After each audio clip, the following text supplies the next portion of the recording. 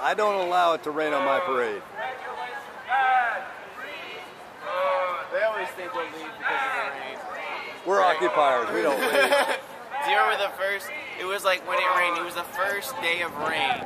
It was like the first day at of the drought. What, are you talking November, October? What you talking? Yeah, with the, it started in October. Now, were you talking the first or second or third? Uh, behind the, you're talking behind the city Not hall? the official start, but no, like no, at the start, no, the very, very beginning. I'm talking about like day one. Okay, you're talking about at JFK? Not at JFK, but I'm saying like since day one. I'm talking about Okay, Pioneer Park. Yes. Pioneer Park. Okay. I call that Camp Two. Camp Two, yeah. Camp One's JFK. Okay, so Right, yeah. so the drought. Tell me your story. I'm Well, going to interview you. Yeah, that's actually it's funny though because we started we uh, we started camping, and the city wanted us to leave and they allowed tents, and it started raining bad, pouring for like an entire day, and it didn't stop for the next day if I remember right. It was just constant rain pretty much, but it was the first time I had rain really in a long time, and throughout that week and continued to pour and pour and pour. Camp got destroyed several times during those storms, but every time it got rebuilt. Now uh, we rebuilt it in the uh, Camp, what I call Camp Two, Camp Two, rebuilt. several times and then there was an agreement to go to Camp, what I call Camp Three, which was behind the city hall. I call it Camp Downfall. Wait a minute. Camp Downfall. Okay. Yeah, that's where we.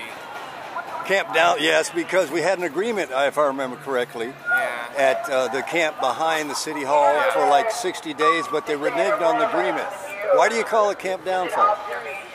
Um, I think because we lost a lot of sight of what we, exactly what we were supposed to be doing out there. Yeah, We okay. of just got more into the we're camping out, and I think everybody everybody has you know things they did great, and everybody has the things they did wrong. But uh, once it got to that point, everybody started getting tired, and Yeah. we didn't really try. We couldn't seek unison to try and get an objective or get us straight. Well, this is what we're here for, and this is what we're gonna do.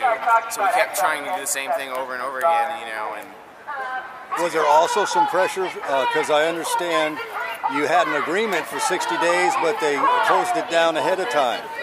Yeah, that was the agreement. Apparently, we we uh, nullified it by breaking the you know terms, which I kind of agree with in some ways because we did. I mean, honestly, there was if you look at it in a legal sense, there were stipulations that were broken, but the contract was designed to be that way. They knew that we were going to break the stipulations. I think.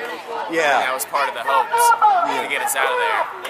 But Common sense says they should have allowed you to have porta potties. Well, they claim they gave us 24 hours notice, but the camp as a whole never got 24 hours notice. You'd think 24 hour notice or something like that would be them coming up and saying, hey, everybody, we're giving you 24 hours notice to get out of here.